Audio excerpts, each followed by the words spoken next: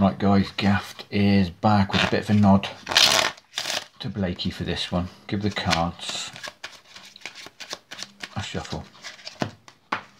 Um, we're going to make four piles, call that stop, stop right there, call that stop, right there, and we'll make one more, call that stop, right there. Four random packets, four random cards. Now I've no idea how this trick works but the first card you found was in fact the ace of hearts. The second card you found was in fact the ace of diamonds. The third card you found was the ace of clubs and wouldn't you know it the fourth card is the ace of spades. No idea how that works but if you'd like to know smash the like button, subscribe to the Gaffed Academy, post notifications and we'll see you tomorrow for the reveal. Ad Blakey, nice one brother, cheers.